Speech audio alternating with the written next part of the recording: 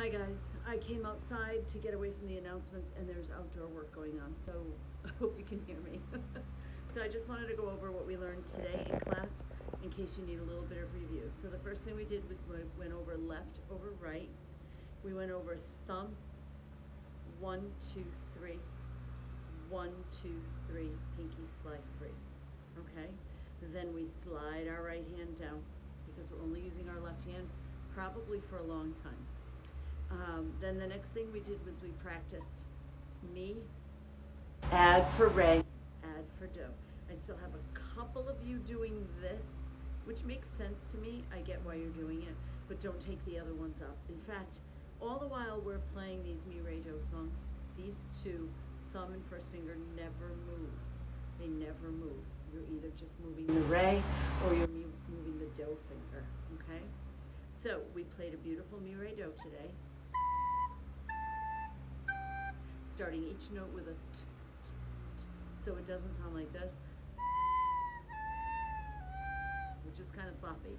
So if you make sure you start each note with t, with your tongue, okay?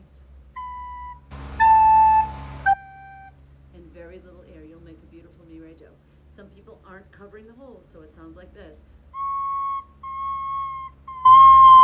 You gotta make sure that you're really on the holes. Flat fingers, don't play with piano fingers, play with flat fingers, okay? Um, we then played our very first song today, and I'm gonna play it super slowly for you, and then you can just rewind this video and keep practicing it, okay? Here we go.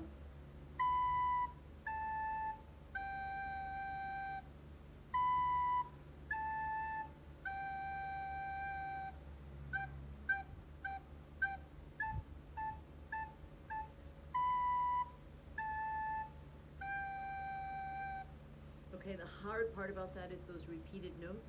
And remember, it's your tongue that separates all the notes. If you don't engage your tongue, it's going to sound like this.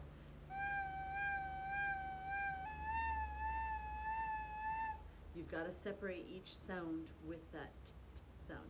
Listen one more time. Ready? Let's play together.